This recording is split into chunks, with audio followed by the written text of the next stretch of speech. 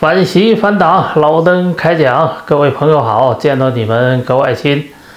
今天又有一个大的新闻，呃，中共的一个间谍气球啊，飞到了加拿大西北部，呃，是加拿大的育空地区，接近北极了啊。那个地方我去过，啊，曾经看极光啊，开车去过。加拿大总理小特鲁多命令空军击落。还也是 F 二十二啊，击落了这个气球，这是刚刚发生几个小时的时间。呃，原来加拿大呀对待中共一直比较软弱啊。上一个气球啊飞进美国本土的第一个气球击落的，就是从加拿大领空飞过去的啊。加拿大没有击落，让这个气球飞到美国去了啊。这一次加拿大也硬起来了，加拿大跟美国呀是联合防空啊，有一个北美联合防空司令部。也就是两国的空军呢，几乎是统一的，啊，两国的领空呢是由两国空军统一守卫，所以这次呢是出动了两架战机啊，一架是美军的，一架是加拿大的，啊，两架飞机呢击落了这个气球。我一直在说吧，国国内的爆料渠道讲呢，一共是四个气球，啊，这是四个气球吧。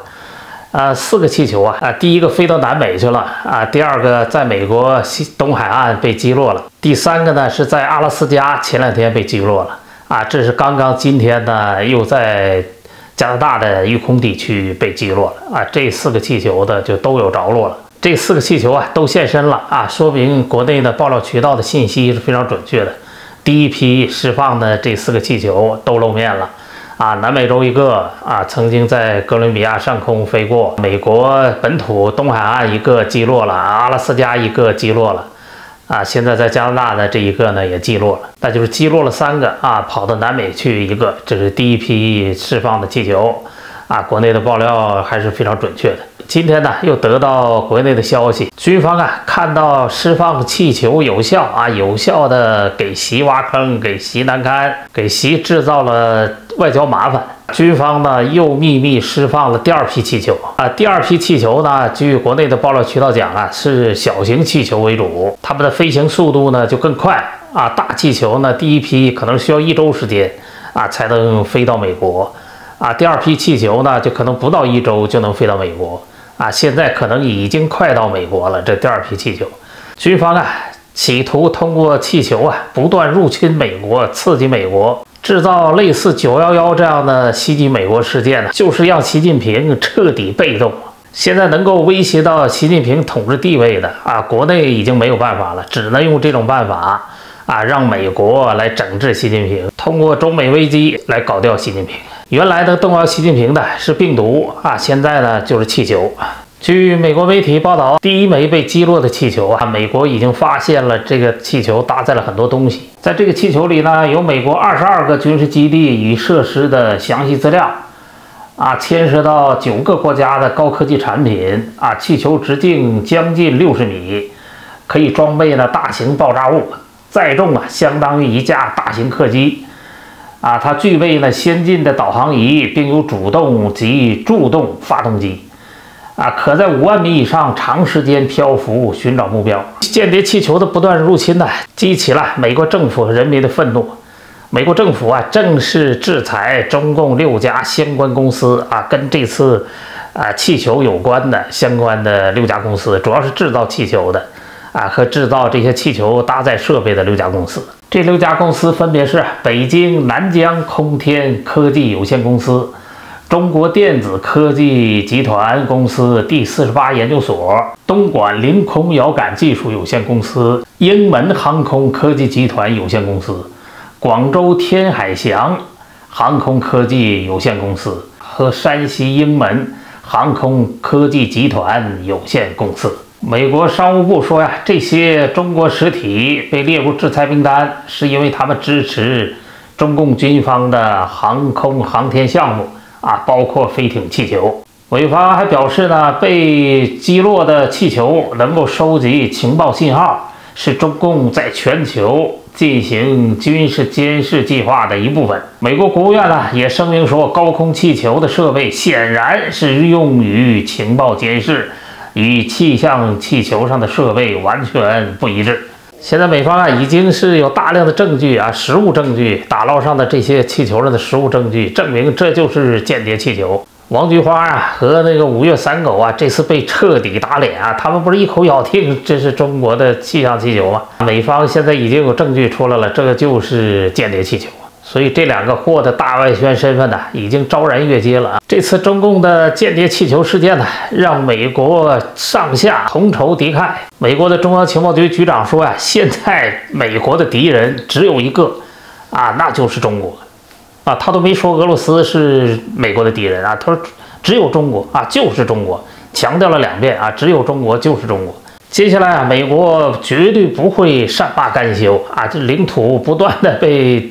间谍气球入侵，如果是第二批气球再到，接二连三的，就是再一再二再三再四这样的气球入侵，美国人一定会被激怒，啊，很有可能美国会在军事上予以反击。美国倒不需要派出什么美国的间谍气球去中国，因为美国的卫星已经足够强大了，用不着这个间谍气球。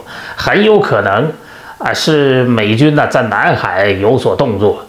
啊，很有可能啊是端掉中共在南海岛礁上的军事基地啊，这个大家可以观察啊。美国人要出手，一定是在南海，也有可能呢是麦卡锡议长，众议议长麦卡锡提前访问台湾，啊，有意挑起台海冲突，美国呢在借机下手。这次间谍气球事件呢，是中美关系的一个里程碑事件，啊，正式开启了中美军事冲突。广西的县委书记被绑架案呢，中共现在已经全面封杀了啊，在新闻上你也看不到了啊。黄东明，滕县的县委书记黄东明被几个农民绑架的这件事情啊，新闻上你已经看不到了，网站上都看不到了，被中共呢拿掉了这个新闻。现在的绑架案主犯陈克正还没有抓到啊，警方悬赏十万元，正在通缉他。我觉得这个陈克正啊是好样的啊，这个家伙是个英雄。如果是有人能够见到他，尽可能帮一下他吧，啊，掩护一下他。网民呢还是在私下热议这件事情。县委书记黄东明啊，这个家属啊就能拿出来一千万，一般的人家啊，谁家有一千万的现金的？啊，这个现金你要是去银行取，那还要取很多次吧？啊，他们家就能直接就能拿出一千万的现金来，去当赎金，这说明他们家真是有钱的。啊，具体是怎么绑的黄东明啊，还没有更多的细节。我倒是原来看到过很多新闻，那都是一些一些有心人吧，冒充这个纪检委的人员啊，这冒充纪检委的干部，啊，去双规这些贪官。啊，把他们直接就带走啊！很多企业，我记得在什么陕西这个铜川呐，啊，还有这个什么其他的一些地方啊，有的是把校长给这个带走的，有的是，啊，直接进办公楼把什么局长带走的啊啊，挂上纪检委的名牌进这个办公楼就带这些贪官把他们押走，啊，还有的是建立一个什么搭建一个审讯室，把这贪官弄去审讯的，让他说出钱在哪儿。所以这种新的劫富济贫的方式啊，我是我本人是非常赞赏。中国人发家致富的一条出路，可以向这几个农民学习啊，向陈克正他们这几个农民学习啊，多弄几个县委书记，多让他们出几千万。俄国的副外长维尔西宁啊，他十一号呢有一个讲话啊，他说呢，俄国呀希望跟乌克兰谈判，而且是无条件的谈判，几乎是祈求乌克兰进行谈判。